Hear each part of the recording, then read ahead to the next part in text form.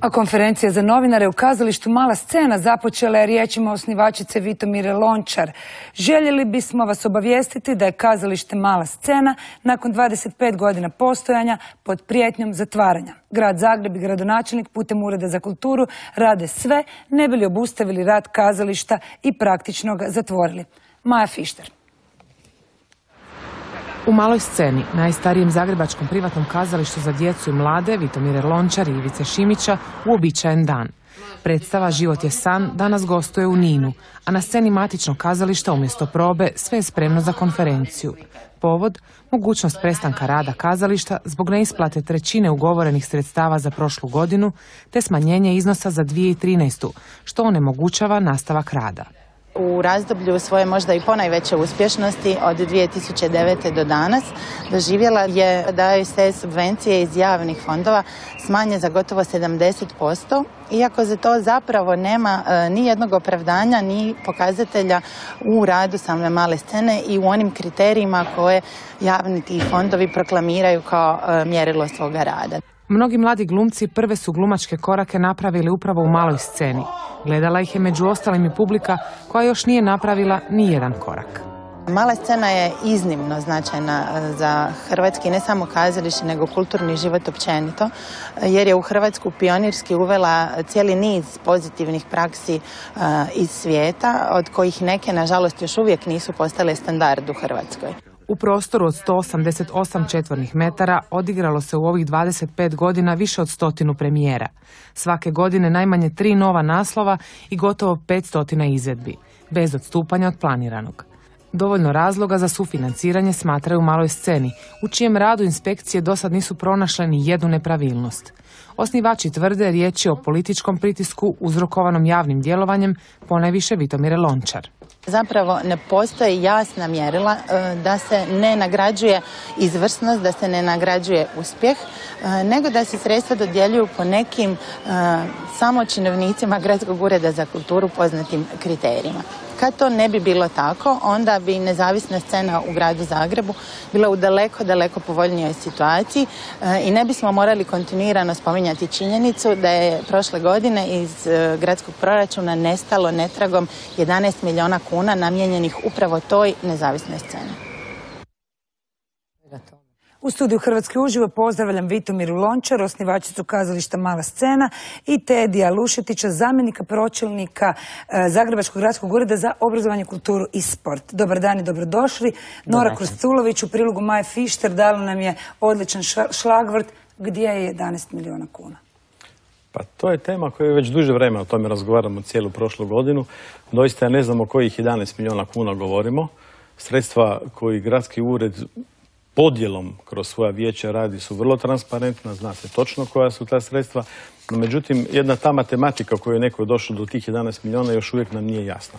Tako da mislim da o tome više gotovo bespredmetno razgovaramo uopće nije bez predmeta razgovarati, ali ovo nije tema današnjeg razgovora. 11 milijuna je nestalo iz proračuna, niko ne zna odakle je namijenjeno neovisnoj sceni kad su se zbrojila sva sredstva za neovisnu scenu, a u globalu je pisalo da je to, ne znam, mislim 55 milijuna, ispalo da je na neovisnu scenu otišlo 44. Dakle, gdje je nestalo 11 milijuna kuna, ali ne bi ja da mi danas gubimo no, vrijeme. Upravo, upravo ovakvo vaše otvoreno postavljanje pitanja koje već duže vrijeme postavljate i na svom blogu Slamka Spasa i u svim javnim nastupima upravo dovelo do toga da je mala scena pred zatvaranjem. Naravno. Pa Naravno, sve ste rekli. Dakle, e, e, ja se bavim javnim djelovanjem. Moja osobna strategija je javno djelovanje. Jedna od glavnih strategija male scene je javno djelovanje, a i u svom znanstvenom radu bavim se nečim što se zove Hrvatska kazališna stvarnost. Naime, ja sam doktorirala e, s tezom Hrvatska kazališna tranzicija. Dakle, u svom i znanstvenom i praktičnom radu svakodnevno se bavim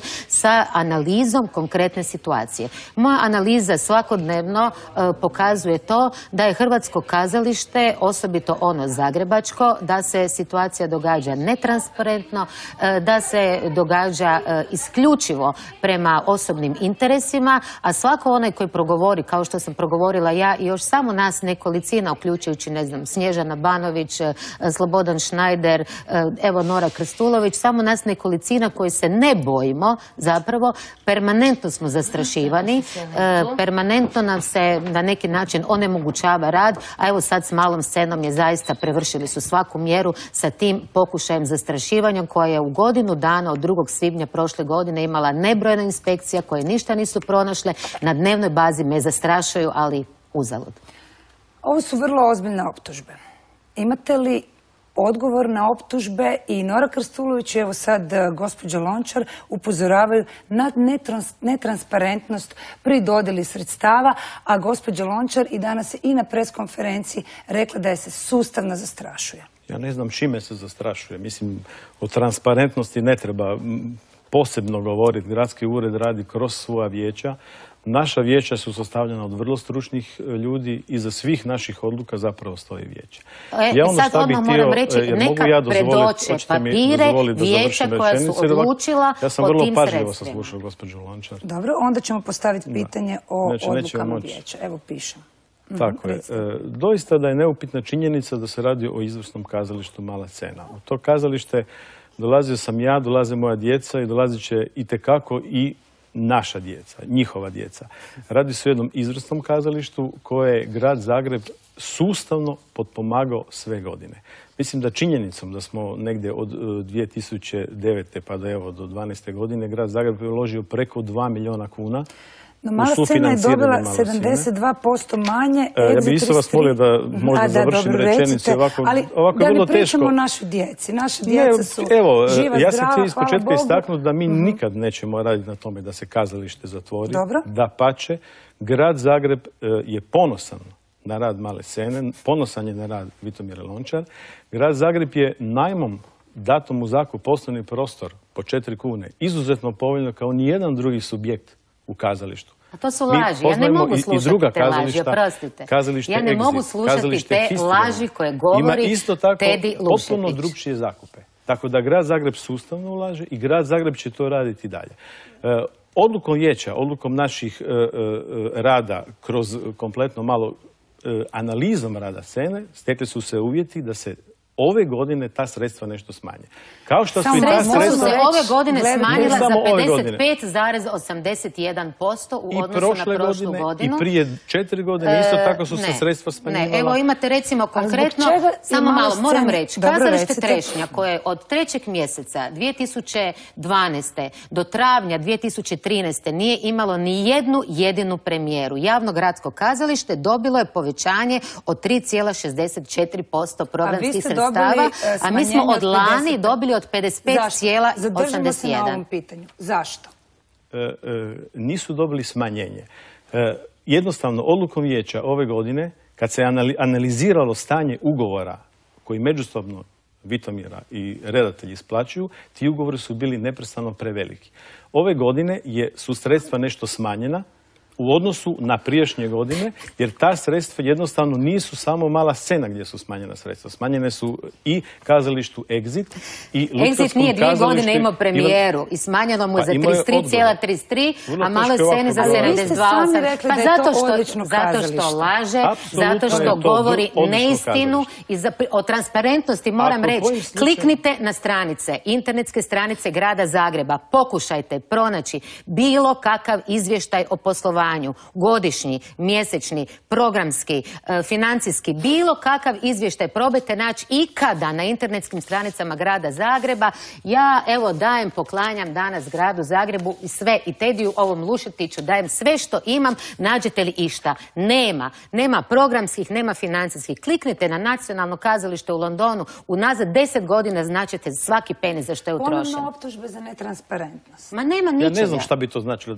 Ona neprestano gospođa Vitomira govori o javnim kazalištima. Javna kazališta... Ne, osim- ja govorim o transparentnosti. Pa o govorim da, se, transparentnosti. da nema, ne postoji dokument. Vi niste čak predali Skupštini grada dokument o svojoj potrošnji. Ne zna se ko je što predvidio. Kazalište Trešnje u četiri godine odigralo je jedan jedini naslov koji je prijavio. Kazalište Exit u četiri godine nije odigralo niti jedan naslov koji je prijavio. Kazalište Mala scena u četiri godine odigralo je sve naslove koje je prijavilo. Kazalište Mala scena dobila je smanjenje za 72 zarez, 72,86% i 55% manje od prošle godine. Pa to su nestvarne stvari, a nema nika, ne postoji tablica, ne postoji, bavim se tim istraživanjem u kojem se vidi ko je što prijavio, ko je što izvršio i koji su se novci uistinu isplatili. Nema. Sad, sad ćemo dati gospodinu Lušetiću Evo. minutu prostora da odgovori na vaše optužbe. Ja mislim da su te optužbe potpuno neosnovane. Kazalište Mala scena, ponavljam, ima doista dobre predstave, ali kazalište Mala scena ima iznimno visoke honorare. Kazalište Mala scena ima najam kao nijedno drugo kazalište, privatno kazalište u gradu, ima uvjete koje je grad Zagreb omogućio. Unazad četiri godine, kažem, preko dva milijuna kuna je iz gradskog proračuna dato za pomoć pri radu gradskog kazališta, da bi ovo kazalište došlo na to nivo. E, Vitomira kaže kako kazalište gostuje po cijelom svijetu. Ono zaboravlja da sva ta gostovanja su financirana upravo dijelom iz budžeta grada Zagreba. Grad Zagreb je ove godine ja za samo- međunarodnu djelatnost male scene Ja dao ne govorim nula kuna, prošle godine godine. tisuća kuna, a u tih četiri samo- godine imali smo 17 praizvedbi, četiri hrvatske premijere, tri obnove, 26 naslova, 221 934 gledatelja, bili smo na 61 festivalu. Ove godine za gostovanja nula kuna, međunarodna djelatnost, nula kuna, reprize, nula kuna. To je to kako oni podupiru. A što se tiče taj 2 miliona kuna koje su oni dali, oni su dali za podupiranje male scene, oni su dali jer je mala scena javna potreba u kulturi, što pokazuje 221 934 gledatelja u četiri godine. E, I Sad druga kazališta su javna potreba u kulturi, ali niz daleka nisu tako financirana kao mala scena. To je laž. Odlukom, ma nije To je- laž. ma to je ja vam laž. mogu nazvati, To je- ja vam je- mogu sada govoriti o Bad Company u kojoj godina, godinama je dobio 65 tisuća kuna. Mogu govoriti o cirkus te- teatru 20 tisuća. Oni su Mogu nastali govoriti- prošle godine. Mi radimo Nisu 25 nastali godina. Imali smo e, cirkus, triko cirkus teatar, naš partner. Odlukom je oprostite. doneseno da se ove godine O, dajte nešto mi te- smanje Dajte mi da se- evaluaciju, dajte mi te papire, dajte mi evaluaciju. Ono je Vaša komisija, pola vaše komisije, nikada nije kročila nogom u kazalište Mala E, scena. Prema kojim kriterijima, prema Naše kojim vijeće tablicama? čak i radi s vama i bila je neugodno Oprostite, iznenađena kad je vidjela ugovore koliko dobije redatelj kod vaše predstave, a koliko dobije ona ko scenografija. Nije Ovo je laž. Ja Zbog samo toga završiti. što gospođa E, Vesna Butorac? Blače nikad nije bila u maloj sceni. završiti. Ne govorimo o Svako Vesni, se- govorimo Gospođa Mare Sesardić nije godinama Ono što je bila bitna činjenica, grad Zagreb nikada neće dozvoliti, mogu završiti E, rečenicu, nikada neće dozvoliti da se mala To znači scena... povećat Mala ćete scena se sredstva. Zatvara. Apsolutno. Mala scena se ne. ćemo- Mala ovako, ovdje su Mi ćemo zahtjevi. Mi ćemo sjest. Godinu dana mi nisu odgovorili ni E, na jedno ali sad je pismo. rekao Godinu da ćete dana. sjest na razgovor i da će povećati sredstva. ne, ni na jedno pismo mi nisu godinu dana odgovorili. Prema zakonu o lokalnoj samoupravi moraju odgovoriti u roku od 30 Moramo- dana. 26.3. sam pisala žalbu. Nisu odgovorili ni na žalbu. Moramo, e, gospođo Lončar, Ono što bih htio sad- možda na kraju reći, još E, jedan put. Znači ja bih vas nikada... rađe držala za ovu riječ koju ste sad rekli. E, Objave ste, ovih ja svih rezultata bile gotovo prije dva mjeseca. Rekli ste da. Prije i dva mjeseca smo mi donesli ovu odluku. Ja sam se odmah Meni, žalila. Meni je čudno da mi četiri dana prije početka izbora Sad ćemo... i ne, Ne, bih htio da je tri to godine to traje. dio izborne ćemo- kampanje. U svakom Ne, ne, svakako pardon, tri godine traju Ono što pisma ja i imate na CD-u sve moje dopise, a gospodin. Lušetić... Ono što ja mogu reći, prije ove emisije ja sam se čuo s gradonačelnikom Dobro. i on ponavlja ono što ja sada kažem. Dobro. Nikada nije upitan rad male scene. Mala Mala scena, više ne postoji od 36. Mala dolaz scena je dobivaju svi ljudi otkaz. zaštitni. Gradonačelnik ima sve dopise, nije odgovorio ni na jednog, osim na ono gdje je rekao da su protuzakonito izneseni ovi svi podaci lažni o poslovanju mala scena. Sad ćemo Mogu završiti? To je sve Hrvatskoj laž. uživo. Vi ste rekli da ćete nastaviti razgovor. E, Mi ćemo sad ovaj o, ispred naše javnosti završiti.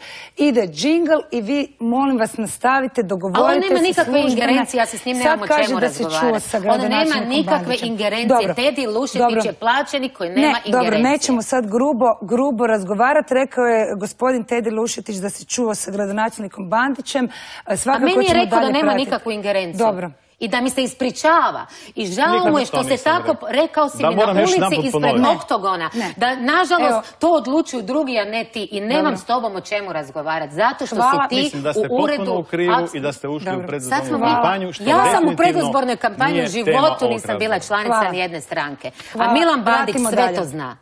Hvala lijepa, pratimo dalje.